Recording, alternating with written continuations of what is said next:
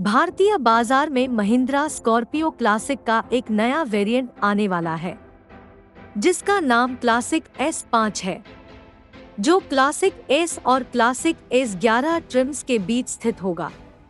चलिए आपको बताते हैं, इस कार में क्या कुछ खास है। स्कॉर्पियो क्लासिक एस पाँच।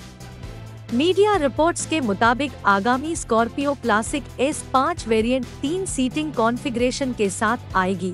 बेंच के साथ सात सीटर कैप्टन की सीट के साथ सात सीटर और बेंच के साथ नौ सीटर है। जहाँ वेरिएंट के आधार पर तीन में से केवल दो ऑप्शन उपलब्ध है। लेकिन रिपोर्ट्स की माने तो कंपनी क्लासिक एस ग्यारह में अब नौ सीटर का ऑप्शन दे सकती है। स्कॉर्पियो क्लासिक एस पाँच वेरियंट में दो डॉट दो लीटर टर्बो डीजल इंजन आ सकता है, जो 132 एचपी और 300 एनएम का पीक टॉर्क जनरेट करता है। यह छह स्पीड मैनुअल ट्रांसमिशन के साथ जोड़ा जाएगा। यह एक रियर व्हील ड्राइव होगा।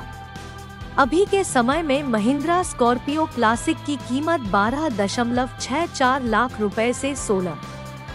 चौदह लाख रुपए एक्स शोरूम दिल्ली है। वहीं आने वाले स्कॉर्पियो क्लासिक एस पाँच वेरिएंट की कीमत 14 लाख रुपए के बीच हो सकती है, जो दोनों के बीच के अंतर को भर देगा। हाल के दिनों में महिंद्रा ने पिछले साल अपनी महिंद्रा स्कॉर्पियन सुव लॉन्च की थी।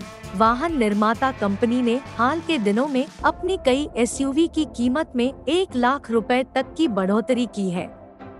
महिंद्रा स्कॉर्पियो एन के कई मॉडलों की कीमतों में पंद्रह हज़ार रूपए से लेकर एक लाख रुपए तक की बढ़ोतरी हुई है।